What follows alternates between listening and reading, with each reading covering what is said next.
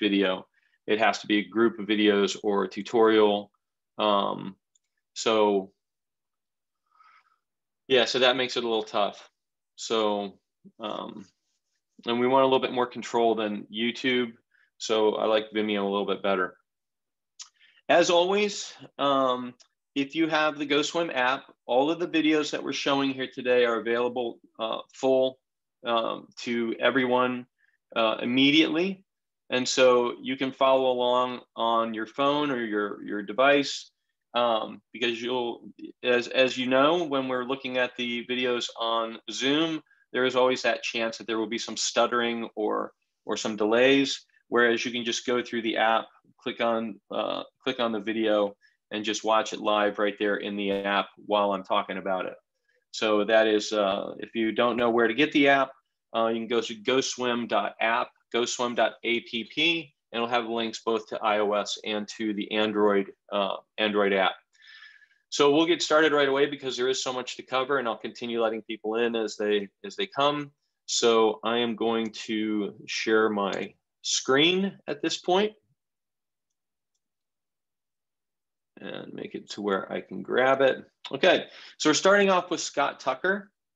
And um, Scott is a two-time Olympic uh, Olympic freestyler for the United States for the 400 free relay. And the one thing that we know about Scott is that whether he's going fast or whether he's going slow, his kick is always the same. So it's it's always consistent, and that's the uh, the thing that we see uh, among, uh, amongst a lot of elite athletes is that they're trying to make sure that they're mimicking as much as possible their fast stroke, even when they're going a little bit slower. So Scott, um, it's his kick is not overt when he's going slow, but you can see that it is consistent. That even when he's going nice and smooth, the kick is always there. So he has built this integration of the kick into his entire stroke, no matter what the speed is. Um, the one thing that I'm going to talk about, and a lot of the things that I've been thinking about on freestyle have come from a lot of the lessons that I teach and what people come in here with. What, what, what do they bring with them into, into what is their knowledge basis as they come into a lesson? Uh, for master swimmers and triathletes, um, triathletes especially, the, the kick is used mostly to support or hold up for balance, but there's no real purpose to it. Um, kids, when they're given instruction, a lot of times they're simply told to kick more. That's what they tell me is that the coach says to kick more as they swim. And so it's uh, my my goal as a teacher is to give purpose to the kick, is to break it apart a little bit. And it is like learning a new dance. And when you learn a new dance, it's incredibly frustrating. Uh, and one of the notes that I've given in um, in what I want to talk about is that in my post um, competitive career, um, that was the only time I started to think about the flutter kick because as a breaststroker, I didn't really care about the flutter kick. Um, but I didn't know how to teach it either. I was like everybody else. If I wanted to kick, I'd just kick more, but it didn't really have a purpose to it. So um, as Scott here transitions from a slow swim speed to a faster swim speed, we see that the kick uh, is still very compact. But there is one thing that that I see more and more of is people are kicking with a straight leg kick, an actual straight leg, very little bend in the knee. Um, it's nearly impossible to get any push from a straight leg kick. So even though these kicks are going to be very compact, and you'll see variations in size this morning, but even though Scott's kick is very compact, it is not straight. There is a flexion to the knees, there is bend. So here you can look at it at regular speed, it looks really straight. But as you slow it down or you start to really look at it, there's a slight flexion of the knee, but again, it's very compact. Um, the thing that I really, really like, and let me get back to my notes here. This was something that I, I really saw after, you know, really looking at this. So at 131, so we come up here to about right here, we see that as he starts going faster, the amplitude or the size of the kick gets bigger. So you see his feet coming out of the water. Now, we know that we, we just saw how small his feet are uh, as he kicks. And so now we see them coming out of the water um, at speed. So we know that the kick is larger. But the interesting thing here is the wake or the, um, the wave that follows him. And when you watch his hips, you can see that his hips are on the surface, but watch the wake that follows him. It's like a cone of disturbance, or I forget what I call it, but you can see that the big wave of water that's created here, his feet are staying inside of that because he's already disturbed that water and it's pulling it forward. Now we're going to see that much more distinctively when we go to the underwater. Um, so you have to, in my eyes, I always look at water as a substance and, and I try to think about the disruption of the water. And that as I cut through the water, it's not only the surface tension that's going in this direction, but it's also this cone of disruption that um, I think I call it a sleeve of disruption, a, a sleeve or a cone in which you go through and you leave this cone behind you. And the further behind you it gets, it gets a little bit wider. So the kick can start to grow and still be within that cone, even if it looks like it's just outside of the shadow of the body, because the water just doesn't go right behind you, it spreads out. And so um, when we look at this from underwater, and it's at 145, and I encourage you to just go through this on your own and watch this particular thing right here. Um, I loved seeing this when I really reviewed this. So here you see right here, the wake starts. Uh, and you can imagine that there's a similar one underneath going the other way. So right there, his legs are in that. And you can see that the water grows as it goes back, this wake that he creates. So the kick can get a little bit bigger, but he's not creating resistance as we would think with the back of the leg because the water is being pulled in the direction of the body. So I just thought this was so cool when I really looked at it and saw that wake that's created after him. But and, and as the kick gets bigger, again, he's grabbing more water. The kick is more is greater in amplitude, but he's not creating more resistance because here, even though the the foot is below the body line, that cone of or that cone or sleeve of disruption that I talked about is growing. We just don't see it as much underwater as we see it above the water. So I love this this illustration of the wake that he created. Um, and here the crazy thing for me is that I filmed this video almost 20 years ago. So Scott was one of our first Olympians, and I'm still learning stuff from it. So um, you know, it's it's just incredible when somebody is going really fast. What happens to the water around them? How they impact it, and how they've worked with it. So here is a great illustration of the wake that's created and how the legs stay within that. This takes true speed.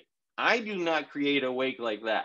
This is an Olympic athlete. So, you know, we, we might not create wakes like that if we're master swimmers, triathletes, or coaches, but some of the great swimmers, they're they're creating these wakes and we're learning how they use them or how they stay within, you know, inside of them. So just a tremendous, tremendous uh, video. As he slows back down, again, if you're going to learn to develop a great kick, the most important part about a great kick is consistency. And that's the whole focus of this video, uh, is that Scott is always practicing a consistent kick. Uh, the one thing I have not talked about here is that when I teach, I'm either doing a, a, a two, a four, or a six beat kick.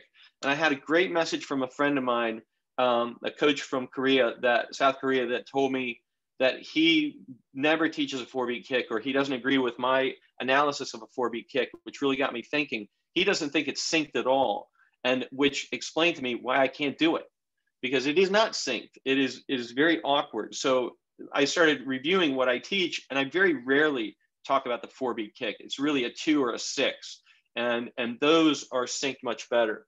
So again, still learning as always. But um, if we look at Scott's kick, you're going to see this on the next video too. Uh, let me see if I can get back to where he's going really fast. Barbara and I have tried to look at this many times over the years. Um, I think it's the next one from above water. Let me go forward just a little bit more. Right here. We can't count the number of kicks that he's taking. It's not four, it's not six, it's like eight or 10. So this is a much uh, a higher, higher rate than anything that mere mortals can typically do. So he's got like an eight beat kick. Um, and again, Olympic freestyler. So pretty cool. We're gonna move on now to the next video, which is Kara Lynn Joyce. Uh, beautiful, one of our most beautiful uh, series of videos. This is just a short clip showing, um, uh, just showing her full body from the side. This would be one of the silent videos that coaches would share with their athletes and then put their own explanation to it. Again, we see a very consistent kick. It's not overt. We look at the slight knee bend that is occurring. It's a flowing kick. It's not overly done. It's, uh, again, right in that cone or sleeve of disruption. So it's not getting outside of the body line. Um, just very, very beautiful. What all these kicks take, uh, again, is balance is making sure that the body line is balanced and that way the kick that you do is um, is more effective. It's not being used for leverage. It's not being used to hold you up. But by achieving balance, the kick then becomes functional. Um, Kara Lynn was one of the most consistent uh, 50 freestylers, three Olympic teams in the 50 free.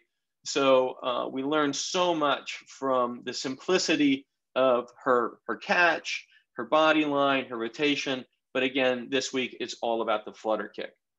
So again, nice bend in the leg, but balanced body line. And if we look at the timing on this again, at a slow speed, eight beat. So as she is extending, the legs are continuing to go. And if you really look at this, it's going to be about an eight beat kick um, as, as she's going along. Let's look at the note. Uh, Greg says, I like to refer to the knee bend in the flutter kick as being like a paintbrush. The bristles do not bend on their own, but they do not, but they do bend somewhat reaction to the motion of the brush handle. Absolutely. I, um, Greg, you say uh, a paintbrush, I say a whip. And so it's, it's, you're flicking the end, but the power has to come from up here. But the end is very fluid. It, it, it, it, it's like flicking a fly off the end of your toe. And so it's not rigid, it, it flows. And so just as a paintbrush, um, and this is required viewing for all my lessons in the backyard is Karate Kid 1. Okay? Wax on, wax off, all of that stuff. It's it's everything that you have to think about things you might not even realize that you're what you're doing, but you're you're you you know that there's something in the future for it. So the the paintbrush is is totally Karate Kid 1. Um, so much more than the than the whip. So nicely done. Thank you, Greg. Okay. The next one is one of our favorite athletes, Andi Murez. Um, and we are up to five athletes now that have been in the backyard pool swimming uh, or competing in Tokyo. So pretty well represented uh, from a pool in the backyard. So I'm pretty happy about that. Brad Tandy was named to the South African Olympic team this week.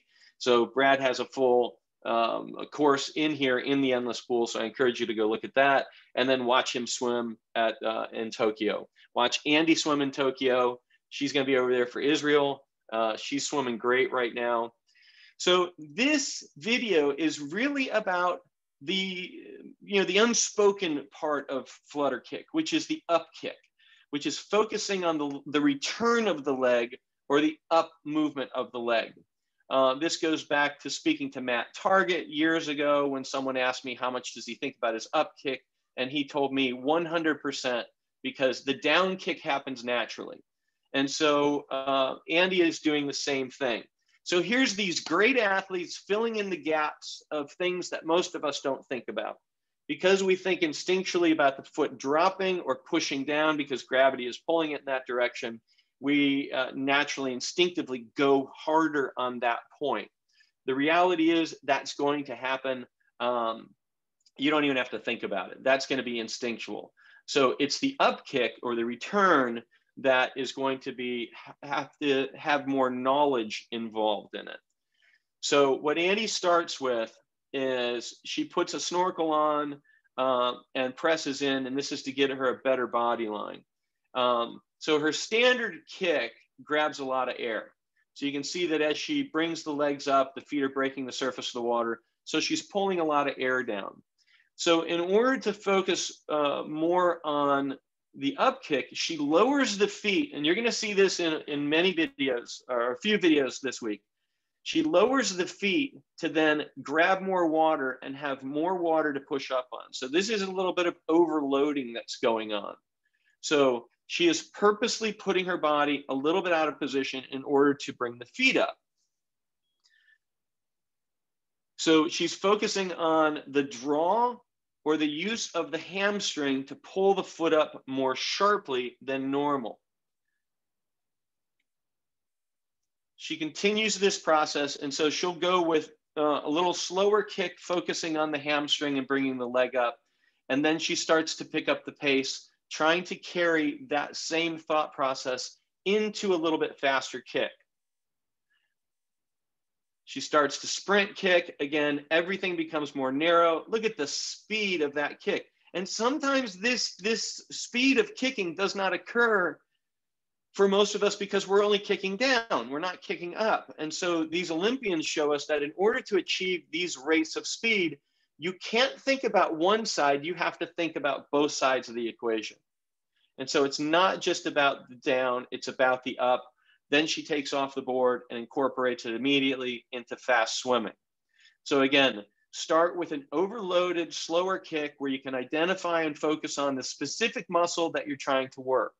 Um, so overload by, by putting the, the body out of alignment a little bit, overloading the legs. Again, we'll talk about the body line in a minute here because this is going to happen again.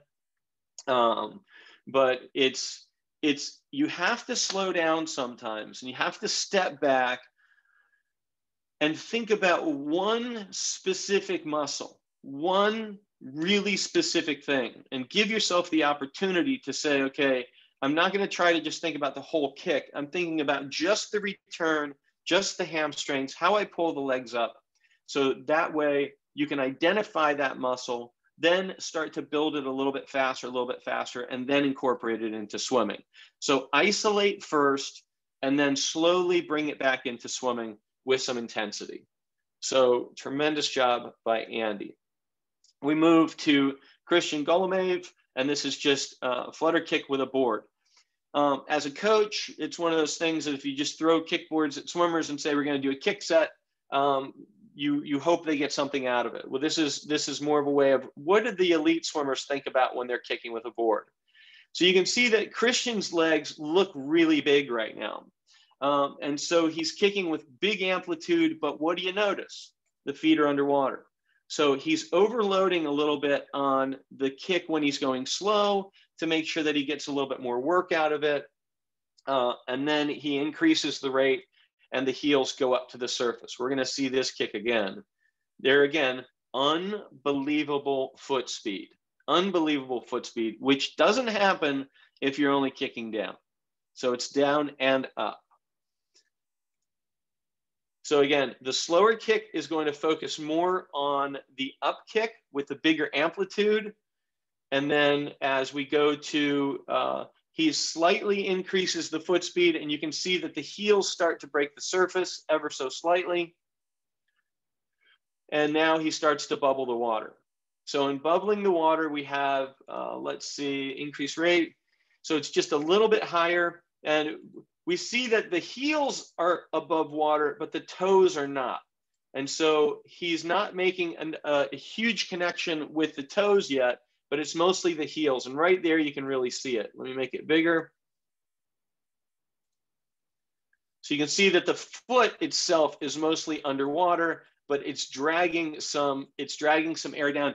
It's pulling air down, it's not pushing air down.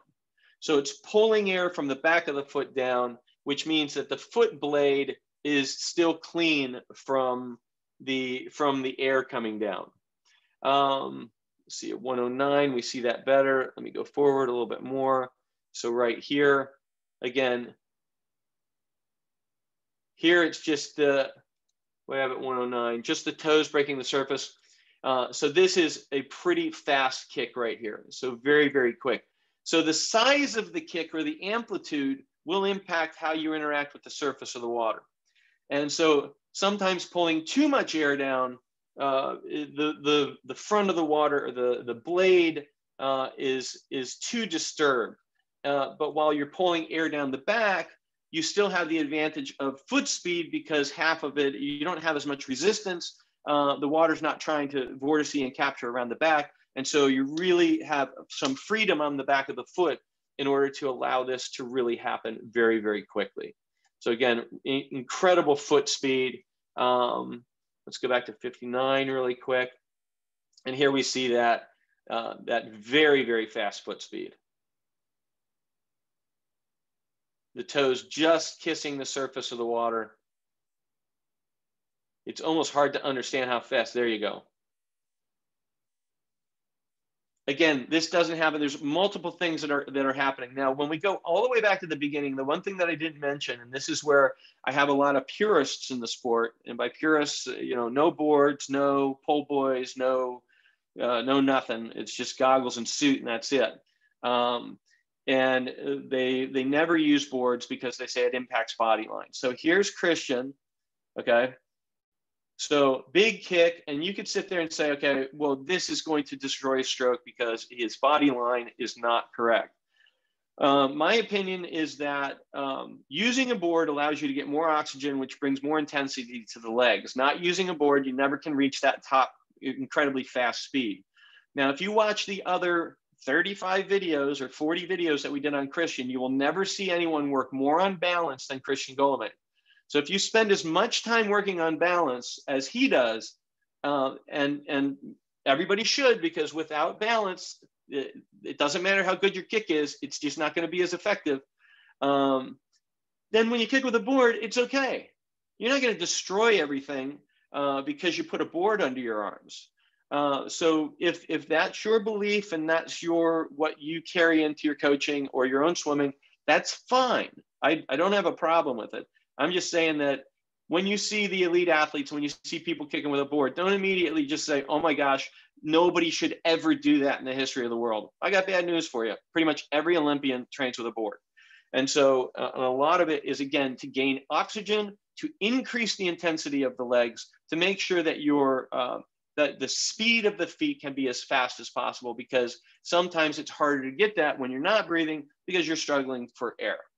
So my own personal opinion, but everybody, as long as you have a core belief, I don't care if he agrees with me or doesn't agree with me. If you have a core belief on how you're teaching, you are far ahead of most people. I mean, I love when people commit to something and demand it. It doesn't, whether it agrees with me or what I say or not, I don't care. It's more about making sure that you have a belief structure in your teaching or coaching. Um, so this is kick height. This is the one we talked about before, in which we're going to talk about, and that is the variations. Now, this is something I learned from Kara Lynn Joyce. This was a way that she trained, making sure that her legs were overloaded. Um, this was just a quick way of me to do it and showing people what the three heights of flutter kick are and how I use it to work the legs at various points. And so I start with a very high kick. You will notice that in the endless pool, the kick may seem a little bit bigger. If you look at the body line or the, the cone of, of, uh, of disruption or the sleeve of disruption, um, it's still kind of within there, but my kick is a little bit bigger. So know that going into this. Um, so the first one is the foot all the way out. So grabbing a lot of air, so big, big kick, making a lot of noise. And so this allows the feet to travel pretty quickly. Um, and again, it's a it's a variation in height so that you're not doing the same thing all the time. The second one is just the heels. This is where you're just trying to suck the air down um, from the back of your feet. So this is where you hear that that sound of you just bringing the uh, the air down with you, but the front of the blade is still pretty clean. So again, you're just taking the feet down a little bit each time. So it's big kick, then you bring the feet down a little bit, it's a little bit more narrow. And then finally, the third height is completely underwater. And this is the hard one. This is the one where you develop your leg strength. So the first one would be ultimate foot speed, and the transitioning down to the third one, which is just work. This is work down and up. This is the hard, heavy kick. And so this is the one where Kara Lynn Joyce would say this is where she gained her leg strength from. This is where she got her power from. But without, if she just did this all the time, then the problem is there's not enough foot speed. So she doesn't get the very quick one because all of the resistance of the water inhibits our ability to move very, very quickly. So using these variations uh, allows you to do everything from building strength to building quickness. So if you only build strength, sometimes you don't have the quickness. So again, even though it was me demonstrating it, not the guy you want to learn, you know, model your fast flutter kick from, especially as an old breaststroker. Um, but I learned this from Kara Lynn Joyce, one of the most consistent and successful uh, 50 freestylers ever. So now we go on to my favorite drill as far as flutter kick is concerned. And one of the notes, and Barbara and I talking about this, um, she said that when she talks to her master swimmers about kicking with a pull buoy, the, the most frequent response is, I can't do that. To which her response is, but you already are. So everybody kind of has this little flick in there and it's in there. So this is just giving it purpose. That's all. So accept that your legs are going to move if you're just using a pull buoy, give it purpose. And so control the legs. That's that's really what I try to do with the people that come here for lessons that I work with is that I want you to have control over what your legs are doing. And this becomes incredibly important for the triathletes I work with because they usually, if you if you look at the nature of triathlon, the head is up, you're anxious because you're in a pack of people that you don't know you don't know where you're going, so you have to look up all the time. And so you, everything on the front end is up, which means the kick is going to be consistent and always moving because it's trying to hold you up. So again, we get back to balance. And so um, I use a, a, a snorkel on this so that I can identify and focus solely on the kick, solely on the kick. Uh, so again, it's that singularity of focus. So the first thing we do is we're gonna go to about 145 because I like to start with complete control. And in order to have complete control over the kick, you must be able to have no kick. And so I like to start these exercises with absolutely no kick at all. Um, so the toes pointed and rotating behind the body line. So first, balance becomes incredibly important in doing this. Sure, I got a pull buoy in. Um, I, I cannot do this without a pull buoy. I can't do it. And so the pull buoy affords me the ability to point the toes, keep the legs rigid, rotate the body, and know that the core is, is locked as much as possible. So it starts with no kick, to which I then move into a 2B. And this is where I focus on just the flick. And here's the cool thing. You already saw how big my kick is when I'm not using a pull buoy. So this actually teaches me a more narrow kick because if I open up, if I if I do a 2B kick that's too big, what happens to the pull buoy? The pull buoy falls out. And so we want to make sure that we're keeping it as narrow as possible. Just look at my notes. Um, I also think at this point fully about the crossbody connection, making sure that when the right foot kicks, the left hand is entering.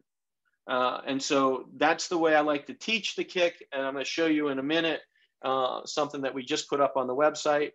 Then I go to a four beat kick. This is the one that my friend in South Korea said that he doesn't agree with. And and in our conversation, what I wrote back to him is, you know, it was almost like thank you, because I have such a hard time with a four beat kick. I'm always out of sync, and so it I I very rarely teach it. I just try to make people aware of it. He likes to think of a four beat kick as a six beat kick without two in there. So it might not, there might be a delay in the way that he teaches it, and which might make this so awkward for me. And so I'm going to look much more into that. And uh, if you notice the title on this one down here in the lower left, it said it has the approximate symbol in front. So with the pull buoy on, I don't know if I'm doing a full six beat kick uh, or if I'm a little out of sync. And so uh, I felt like I was a little out of sync with it. So I just put the approximate uh, number on there. So the idea there is that with the snorkel, with the pole boy, you have a little bit more focus to give to the kick that if you want to practice, for me, a two beat kick is what I use normally. Um, I don't do a lot of high speed swimming. Um, it's just, you know, a lot, a lot lower speed for longer distances. And so I'm mostly working on a four, a two beat kick that just follows along behind me. Uh, and so when I want to focus on it with the pull buoy, I put a snorkel on and I just think about what the legs are doing. And I like to alternate between the no kick at all and then the two beat kick. So really controlling the core and then the two beat kick. So uh, the final video of the theme of the week this week is uh, flutter wall kick. And so this is something that we've all done at some point. Uh, and so there's some variations in this that we use. Uh, the first is that at, you know, whenever I post something on social media, I never post the whole thing. There's 10 seconds. And so I always get this, when does the person breathe? So you got your hands on the wall, lift your head to take a breath. Okay. There's nothing difficult about it, but I know that I'll get that uh, at the end of the week because, um, because I don't show her breathing during the 10 seconds that I put online. So uh, looking at body line here, she's got her head pressed in nicely. She's trying to keep the hips up. It's a very narrow kick, takes the breath, which of course drops the hips and then has to correct the body line. So here she changes the intensity of the kick by making it bigger. And so faster foot speed and more intensity. Now the push-ups come. And so the push-ups are kicking yourself into the wall and then overloading uh, overloading the kick by pushing backwards. So you're trying to kick forward, the body's going backwards, so it requires more strength. So there's an overloading of the kick that occurs down to the final version, which is the push off, which is very difficult. So you're pushing off and your body's trying to go forward, but the legs, but you're going backwards. So the kick now becomes incredibly difficult. This is where you really build the strength from. And so here she's breathing, so she's going to have to hesitate. And we take this directly forward to if you really want to, uh, you really want to work yourself hard, or you really want to torture someone for a little bit, put a snorkel on them, make them do this 10 times in a row. And this is where you really build strength. You really build, uh, you know, some some lactic acid in the legs. And so this is very difficult because you never have to stop here. There's no hesitation or delay because you got the snorkel on and you just keep this thing going. So this is where you really, really gain some, some, uh, some strength in the legs. So those are the videos in the theme. Now, if you're a subscriber, you can come in here and we did a nine video series on how to sync up your kick. And so this is a sequence or a system that I use in teaching people in the backyard that starts with uh, a very awkward drill but one that's done stationary. And again, the idea is that um, that I try to build a cross-body connection that when, when the right hand enters the back, the left foot kicks, so that there's a rotation that occurs uh, that then teaches this connected or synced up. It's, it's how I build or the beginning the process of building the perpetual motion machine. And the way that I explain it to the people that I swim with, and I get in and demonstrate it, is that if I were to, and, and Barbara was with me when, when I did this, I did a 10 mile swim up in, uh, in Vermont uh, a long time ago, but this is what I liken it to. If I were to go out right now without training and have to do 10 mile swim, this is what I would do. It's the cross body connection. You lift an arm, the arm falls, pulls the left arm back, and the between the kick and the pull, you're just rotating from one side to the other. And the next thing you know, four, four and a half hours go by and you're climbing out of the water and you didn't feel anything for the last four hours because everything was working together. And so this is the system that I use to teach that. Now it does go up to a four and a six beat kick, and then it goes to the play. And the play in the last lesson is varying between all of the kicks at your whim. And so the goal as a teacher is to, uh, let's stop the share here, the goal of a teacher, at least as me as a teacher, is to empower the individual to be able to make choices on how they swim. And when someone comes to me and they say that they've been taught how to kick, and I say, What have you been told? And they say, I've been told to kick harder. That doesn't take into consideration all of the little intricate details about how to how to sync everything up. How do you build this mechanism that will just go on its own with, uh, with really no effort. And if you can get to the point where you're able to do this with really no effort, by adding effort, you build performance. And so it starts slow, it starts with just the slight, this little setup, and then it builds faster and faster and faster. Um, so everything takes a system, in my opinion. Now, now Barb and I have been talking a lot about syncing up the kick and how she kicks and how I kick, and and there there is always. Oh no, Siri. So, um, you know, it's it's what I say in the course. if this makes sense to you, if the way that I teach the syncing of the kick makes sense to you, if it's if it's logical, then it's worth the time that it takes to fix or to change your kick. Um, as, as I said, when I started doing this, I didn't know how to teach any kick because I never even thought about the kick because I didn't care about the kick. It literally took me two to three months to make this the normal kick for me because I had so much to undo. And so it was such a difficult process in order to change this. The other day when I was in the pool with one of my students, he did a three beat crossover kick. And I said, Oh my gosh, that's where I started. That's what I did in my entire career. I said, Watch this. I know exactly what you're doing. I couldn't do it anymore. I have completely forgotten how to how to have that rotation go on. I cannot do it. It just it just messes with my head. So I have totally unlearned that and now my kick has purpose. I encourage you that as frustrating as it is, I actually I say you're in the frustration phase to my students and I encourage them that it, it's going to, there's going to be a day it just opens up and you can't remember how you did it the old way. And whether it takes a month, two months, uh, I always like to say that it's going to take less time for more, more most people because I had so much garbage that I brought in from so many years of competitive swimming and you know the 20,000 meters a day, six days a week. There was a lot of imprinting going on during that that I had to undo. And that hopefully most people can undo that much more quickly than I did. So, um, so that's, there's so much in the flutter kick, uh, but, but it, it, like every week, the same thing comes up. You have to have great balance. And so without balance, then the, the flutter kick becomes a stabilizing factor. It stabilizes the hips. It's always just going up and down. Just not as effective. So um, if there's any questions, type them into the chat. Uh, we've got a couple great comments in there. Um, you know, or if you wanted to say something, raise your hand. I don't know how that works, but I'll figure it out. And then we can, uh, you can come on live and, and say something. Because I always like, uh, like when, when people talk, but all right.